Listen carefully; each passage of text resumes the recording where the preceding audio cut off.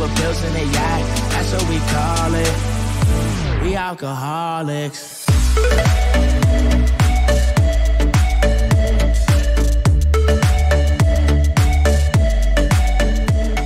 Cuando hablamos de prácticas para bajar las temperaturas, se nos viene a la cabeza dos cosas. La primera es lapping y la segunda es delid. A otras personas también se le vendrán a la cabeza los disipadores, pero esa gente es estúpida. Los rebardeaba, te re pelotudo. Con delid nos estamos refiriendo a un procedimiento mediante el cual se busca llevar el sistema de refrigeración a otro nivel y el cual se está utilizando por todos los entusiastas del overclock, con lo que conseguimos un rendimiento más alto en cuanto a refrigeración. Esta práctica es habitual gracias a que Intel pega los procesadores en vez de soldarlo. La pregunta acá es, ¿qué verga estaba haciendo el chabón que descubrió esto? En serio, no es broma. ¿Qué verga estaba haciendo?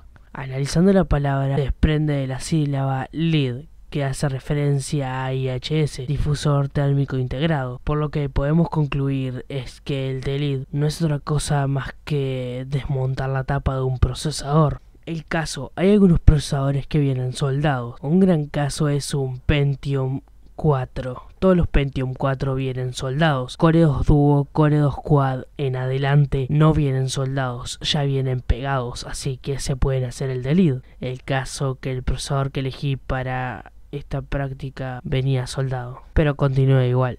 Para hacer esto necesitamos un bisturí o una trincheta, un procesador obviamente. Como este procesador venía soldado, tuve que hacer palanca y sí, ahí fue cuando no, sacadísimo mal, el hijo de puta. La cagué. Pero en este momento seguí. No tenía ningún otro procesador para hacer esto. Aunque este delete no funcione, me va a servir de práctica para los próximos. Como en este caso no está el chip porque lo arranqué y se quedó en el IHS, voy a poner pasta igual pongo pasta y después como buen pelotudo me pongo a cortar el restante de silicona de los costados. Sí, así inteligente soy. Pero bueno, le saqué todo los la cámara para que vean lo que... Y ahí quedó como un puto rey. Esto se hace para que el IHS y el microprocesador se queden pegados y pueda seguir disipando. Ok, ahora para cerrarlo voy a usar pegamento adhesivo líquido. El caso que pongo un poco en cada punta para el chip pueda sacar sus gases por los costados y todo eso. Y así yo creo que estaría más que sobrado. La muesquita junto con el número de serie. Y después traigo una placa madre 775 y lo coloco ahí para que selle muchísimo mejor. Y bueno la próxima intentaré hacer delete con un procesador que no esté soldado. ¿qué te parece el video?